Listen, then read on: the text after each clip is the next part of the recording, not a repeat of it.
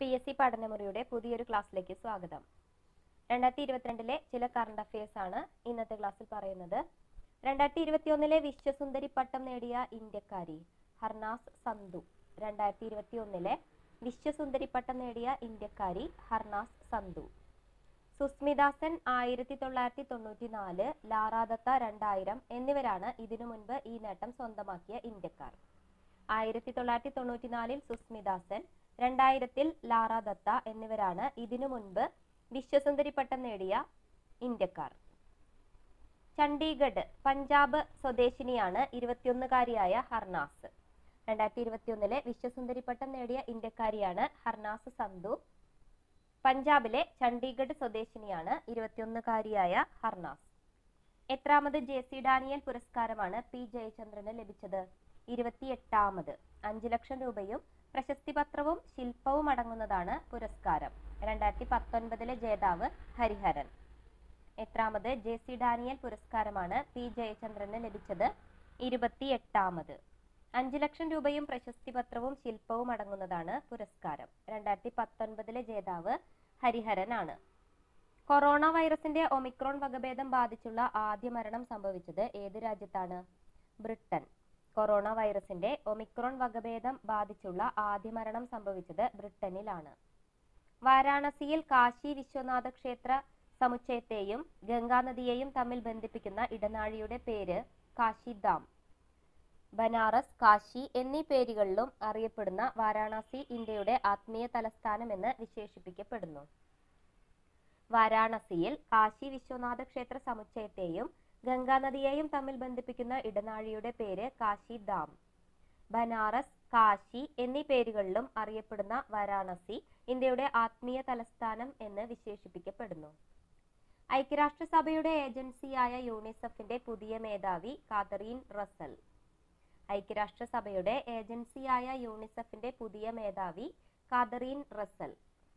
രണ്ടായിരത്തി ഇരുപത്തിയൊന്ന് ഡിസംബറിൽ ബഹിരാകാശത്തെത്തിയ എഴുപത്തിനാലുകാരിയായ ലോറ ഷെപ്പേർഡ് ചർച്ചിലിയുടെ പ്രാധാന്യം എന്തായിരുന്നു? ബഹിരാകാശത്തെത്തിയ ആദ്യ അമേരിക്കക്കാരനായ ആയിരത്തി തൊള്ളായിരത്തി അറുപത്തി ഒന്നിൽ അലൻ ഷെപ്പേർഡിന്റെ മകളാണ്. രണ്ടായിരത്തി ഇരുപത്തിയൊന്ന് ഡിസംബറിൽ ബഹിരാകാശത്തെത്തിയ എഴുപത്തിനാലുകാരിയായ ലോറ ഷെപ്പേർഡ് ചർച്ചിലിയുടെ പ്രാധാന്യം എന്തായിരുന്നു? ആയിരത്തി തൊള്ളായിരത്തി അറുപത്തി ഒന്നിൽ ബഹിരാകാശത്തെത്തിയ ആദ്യ അമേരിക്കക്കാരനായ അലൻ ഷെപ്പേർഡിന്റെ മകളാണ്. രണ്ടായിരത്തി ഇരുപത്തിയൊന്ന് ഡിസംബറിൽ ബഹിരാകാശത്തെത്തിയ എഴുപത്തിനാലുകാരിയായ ലോറ ഷെപ്പേർഡ് ചർച്ചിലി. അച്ഛന്റെ പേരിലുള്ള ന്യൂ ഷെപ്പേർഡ് അഥവാ ബ്ലൂ ഒറിജിൻ പേടകത്തിലായിരുന്നു യാത്ര. ആയിരത്തി തൊള്ളായിരത്തി എഴുപത്തി ഒന്നിൽ അപ്പോളോ പതിനാല് ദൗത്യത്തിലൂടെ ചന്ദ്രനിൽ കാലുകുത്തിയ അഞ്ചാമത്തെ അമേരിക്കക്കാരൻ കൂടിയാണ് അലൻ ഷെപ്പേർഡ്. അച്ഛന്റെ പേരിലുള്ള ന്യൂ ഷെപ്പേർഡ് ബ്ലൂ ഒറിജിൻ പേടകത്തിലായിരുന്നു യാത്ര. ആയിരത്തി തൊള്ളായിരത്തി എഴുപത്തി ഒന്നിൽ അപ്പോളോ പതിനാല് ദൗത്യത്തിലൂടെ ചന്ദ്രനിൽ കാലുകുത്തിയ അഞ്ചാമത്തെ അമേരിക്കക്കാരൻ കൂടിയാണ് അലൻ ഷെപ്പേർഡ്. ഫ്രാൻസിൽ നിന്ന് സ്വാതന്ത്ര്യം വേണ്ടെന്ന് ഏത് ദ്വീപ് വാസികളാണ് ജനഹിത പരിശോധനയിലൂടെ അഭിപ്രായപ്പെട്ടത്? New Caledonia. ഫ്രാൻസിൽ നിന്ന് സ്വാതന്ത്ര്യം വേണ്ട എന്ന് ഏത് ദ്വീപ് വാസികളാണ് ജനഹിത പരിശോധനയിലൂടെ അഭിപ്രായപ്പെട്ടത്? New Caledonia. ദക്ഷിണ പസഫിക് സമുദ്രത്തിലെ ഏതാനും ദ്വീപുകൾ അടങ്ങുന്ന പ്രദേശമാണ് ന്യൂ കാലിഡോണിയ. ആയിരത്തി എണ്ണൂറ്റി അമ്പത്തി മൂന്നിലാണ് പ്രദേശം ഫ്രഞ്ച് കോളനി ആക്കപ്പെട്ടത്. ദക്ഷിണ പസഫിക് സമുദ്രത്തിലെ ഏതാനും ദ്വീപുകൾ അടങ്ങുന്ന പ്രദേശമാണ് ന്യൂ കാലിഡോണിയ. ആയിരത്തി എണ്ണൂറ്റി അമ്പത്തി മൂന്നിലാണ് പ്രദേശം ഫ്രഞ്ച് കോളനിയാക്കപ്പെട്ടത് ഇന്ത്യയുടെ കര നാവിക വ്യോമസേനകളുടെ സമന്വയം സുഗമമാക്കാനായി രൂപവൽക്കരിച്ച chief of staff committee C S സിയുടെ ചെയർമാൻ ആരാണ്? M M Naravane. സംയുക്ത സേനാ മേധാവി വിപിൻ റാവത്ത് അന്തരിച്ചതിനെ തുടർന്ന് പുതിയ ചീഫ് ഓഫ് ഡിഫൻസ് സ്റ്റാഫിനെ സി സി ഡി എസിന് തിരഞ്ഞെടുക്കും വരെയുള്ള സംവിധാനം എന്ന നിലയിലാണ് നിയമനം. ഇന്ത്യയുടെ കരനാവിക വ്യോമസേനകളുടെ സമന്വയം സുഗമമാക്കാനായി രൂപവൽക്കരിച്ച chief of staff committee C S സിയുടെ ചെയർമാൻ എം എം നരവനെ ആണ്. സംയുക്ത സേനാ മേധാവി ബിപിൻ റാവത്ത് അന്തരിച്ചതിനെ തുടർന്ന് പുതിയ ചീഫ് ഓഫ് ഡിഫൻസ് സ്റ്റാഫിനെ തെരഞ്ഞെടുക്കും വരെയുള്ള സംവിധാനം എന്ന നിലയിലാണ് നിയമനം. ഏത് രാജ്യത്തിന്റെ സ്വാതന്ത്ര്യ ദിനാഘോഷത്തിന്റെ സുവർണ ജൂബിലി പരേഡിലാണ് ഇന്ത്യയിൽ നിന്നുള്ള നൂറ്റി ഇരുപത്തിരണ്ട് അംഗ സൈനിക സംഘം പങ്കെടുത്തത്. ബംഗ്ലാദേശ്. ഏത് രാജ്യത്തിന്റെ സ്വാതന്ത്ര്യ ദിനാഘോഷത്തിന്റെ സുവർണ ജൂബിലി പരേഡിലാണ് ഇന്ത്യയിൽ നിന്നുള്ള നൂറ്റി ഇരുപത്തിരണ്ട് അംഗ സൈനിക സംഘം പങ്കെടുത്തത്.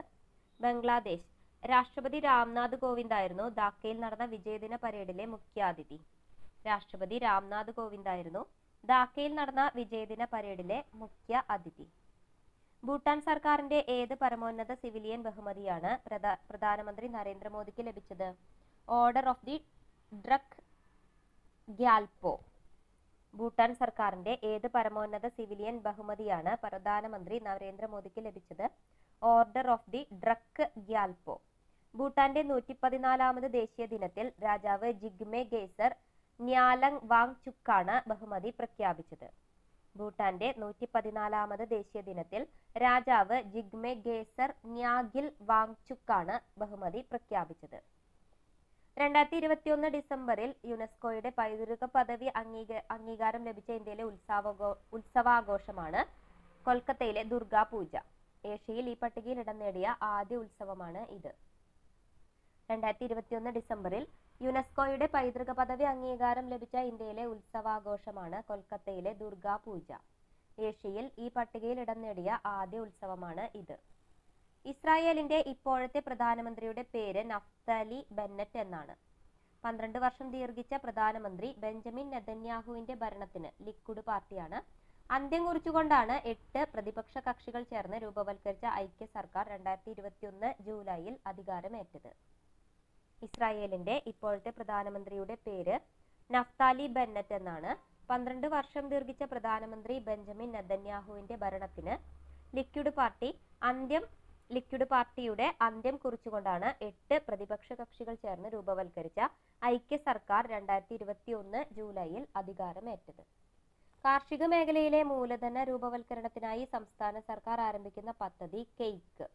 Cooperative initiative for agriculture infrastructure in Kerala CAIK C A I K കാർഷിക മേഖലയിലെ മൂലധനം രൂപവൽക്കരണത്തിനായി സംസ്ഥാന സർക്കാർ ആരംഭിക്കുന്ന പദ്ധതി CAIK cooperative initiative for agriculture infrastructure in Kerala CAIK Kerala bank മുഖേനയാണ് പദ്ധതി നടപ്പാക്കുന്നത്.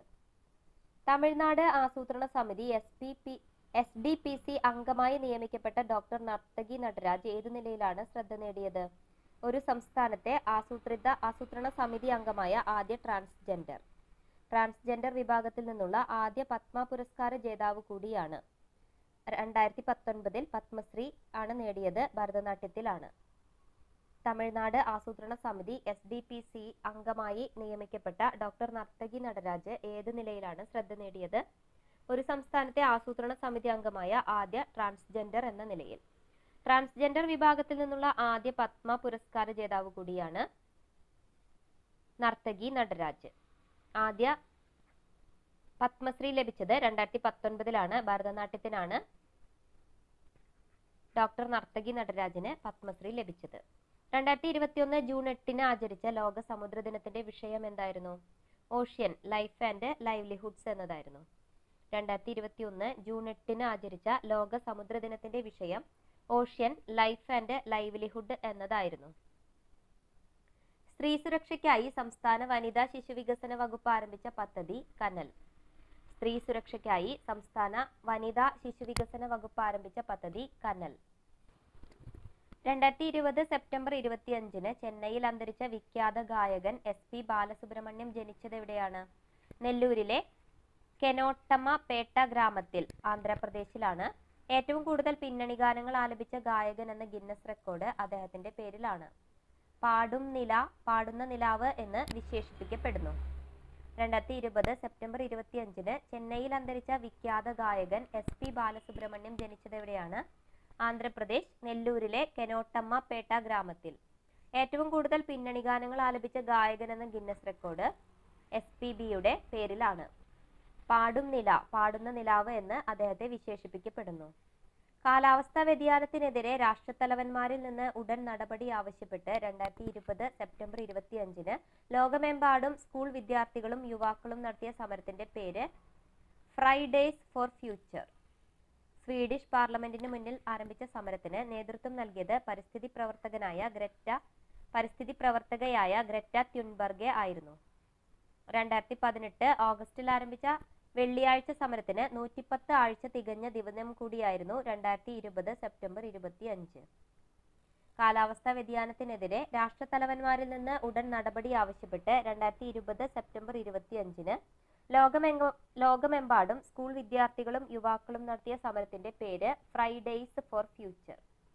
സ്വീഡിഷ് പാർലമെന്റിന് മുന്നിൽ ആരംഭിച്ച സമരത്തിന് നേതൃത്വം നൽകിയത് പരിസ്ഥിതി പ്രവർത്തകയായ ഗ്രറ്റ ത്യുൻബർഗെ ആയിരുന്നു. രണ്ടായിരത്തി പതിനെട്ട് ഓഗസ്റ്റിൽ ആരംഭിച്ച വെള്ളിയാഴ്ച സമരത്തിന് നൂറ്റിപ്പത്ത് ആഴ്ച തികഞ്ഞ ദിനം കൂടിയായിരുന്നു രണ്ടായിരത്തി ഇരുപത് സെപ്റ്റംബർ ഇരുപത്തി അഞ്ച് രണ്ടായിരത്തി ഇരുപത്തി ഒന്നിലെ ലോക ചെസ് കിരീടം നേടിയത് മാഗ്നസ് കാൾസൺ. രണ്ടായിരത്തി ഇരുപത്തിയൊന്നിലെ ലോക ചെസ് കിരീടം നേടിയത് മാഗ്നസ് കാൾസൺ. രണ്ടായിരത്തി ഇരുപത്തിരണ്ടിലെ റോയൽ ഗോൾഡ് മെഡൽ നേടിയ ഇന്ത്യക്കാരനായ വാസ്തുശില്പി ബാലകൃഷ്ണ ദോഷി. രണ്ടായിരത്തി ഇരുപത്തിരണ്ടിലെ റോയൽ ഗോൾഡ് മെഡൽ നേടിയ ഇന്ത്യക്കാരനായ വാസ്തുശില്പി ബാലകൃഷ്ണ ദോഷി.